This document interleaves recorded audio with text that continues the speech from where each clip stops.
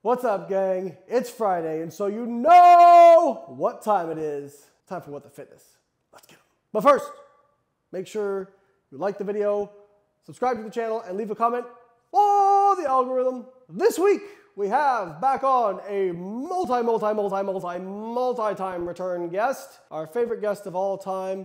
You guessed it, the salad man himself, Paul Saladino. Let's see what Paul has to say about broccoli. Broccoli is bullshit.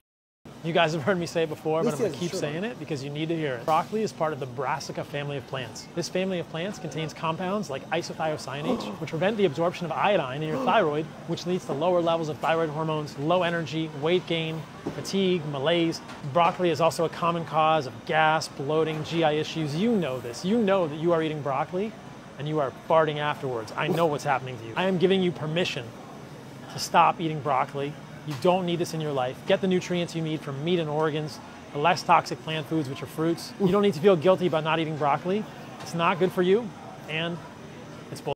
So get it out of your life. He just put his hands all over that broccoli and puts it back in the thing. Come on, man. So we talk about mechanisms versus outcomes all the time. This is a textbook example. Isocyanates prevent the absorption of iodine. That's going to lead to low thyroid, which is going to lead to weight gain and low energy. So what if we actually look at the human studies where people eat more broccoli?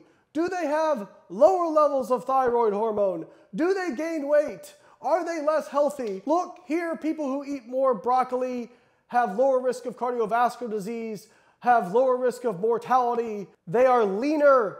They have basically better overall health outcomes in every single aspect that you could possibly imagine. But oh yeah, let's worry about isothiocyanates. What he is doing is cherry picking a mechanism and then trying to convince you that it's going to cause you something negative. I can do the same thing with meat, Paul. Heterocyclic amines, polyaromatic hydrocarbons, heme iron. Those things have all been shown in mechanisms to cause cancer and possibly cardiovascular disease. But you don't see me demonizing meat. I could find no data showing that broccoli ingestion had any negative effect on thyroid hormone. In rodents, they actually showed it improves some thyroid function. I don't know how much to take out of that, but wh- where is this data, Paul? Where is this data? Oh, wait, it doesn't exist. Or maybe it's in some random book that nobody's ever checked out in some place in Germany that nobody's ever heard of in a library that nobody ever goes to that Paul found. Throw back to one of the greatest What the Fitnesses of all time. So what he is doing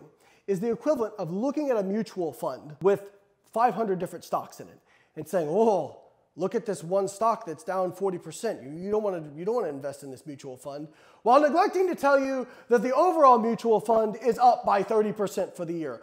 Broccoli is the mutual fund. Does it have in it something that if you fed it in a really high amount, if all your investment was in that single stock, if you isolated those compounds out of broccoli and fed them in a super high dose, it could have a negative impact? Yeah. I can also make that argument for literally any food. Any food. Paul likes fruits? Cool. Apples have cyanide in them. Why is Paul not ranting about cyanide? Because it doesn't fit his narrative. I am convinced that Paul Saladino was a child who did not like eating vegetables and thus just constructed an entire diet around why he doesn't have to eat vegetables because it's the healthiest diet in history. If you want to lie to yourself, go right ahead. But please don't lie to everyone else. I'm out.